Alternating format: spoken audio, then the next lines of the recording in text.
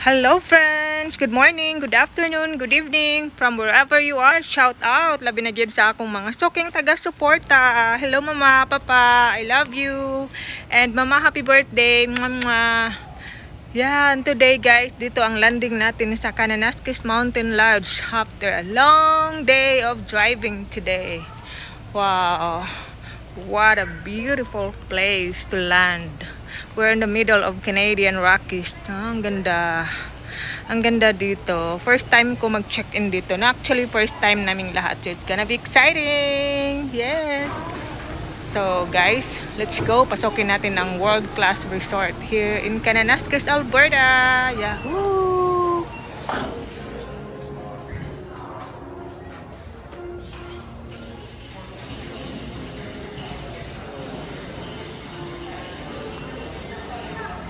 Ay, bongga. Pang mayaman talaga. It's a chandelier! wow, magpipiling mayaman mo na ako today. Ang bongga ng carpet nila, guys. Kahoy talaga ang gamit. Hmm. Sa ibang hotel kasi, gas or propane.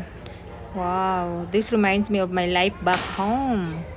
I used firewoods for cooking every single day because I am poor, not five. Kaway-kaway dyan sa mga kaibigan kong nakaranas gumamit ng kahoy, panggatong sa pagluluto, yahoo! Sa mga mayayaman, sorry kayo, di na ito naranasan. Alam, mayaman please.